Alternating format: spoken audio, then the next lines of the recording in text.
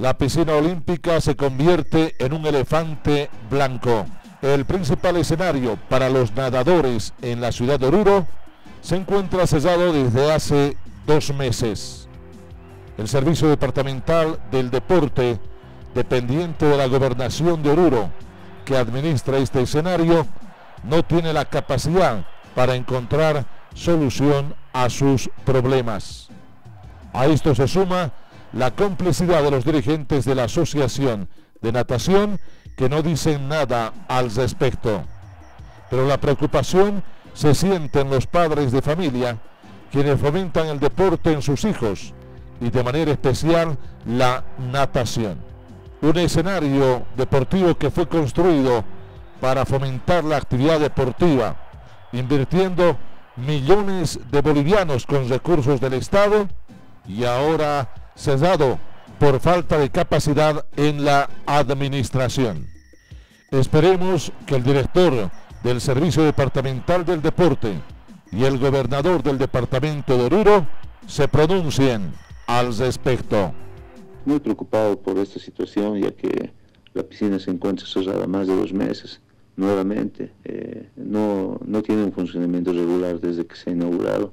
Siempre lo han ido cerrando mucho tiempo, ¿no? Entonces los niños, jóvenes y los clubes están siendo completamente perjudicados y que ellos tendrían que estarse preparando en la piscina olímpica de Oruro eh, para las competencias nacionales, locales y tener un funcionamiento normal eh, de las actividades que la asociación debería, de, eh, bueno, tiene programado, pero todo eso está completamente perjudicado por el, por el cierre de la piscina, ¿no?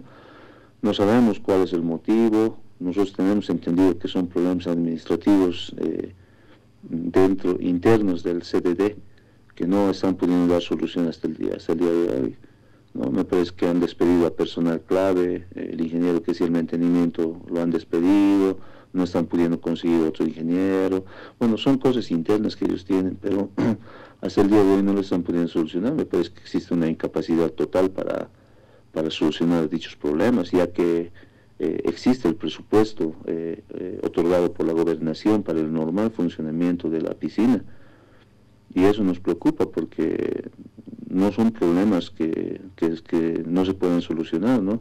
sino que son problemas internos de ellos que, que, como digo, como le digo, que no tienen la capacidad de solucionarlo. Realmente estamos con, con autoridades en el deporte que no, que no son eh, capaces para esta para tener esos eh, esos cargos no entonces eh, bueno nosotros preocupados simplemente hacemos llegar esta este mensaje al periodismo para que nos den una mano y podamos este se pueda presionar tal vez al, CDD para que ellos puedan dar de una buena vez una solución y que esta piscina tenga un normal funcionamiento a diario no porque es una obra de gran magnitud que debería estar funcionando eh, de manera regular.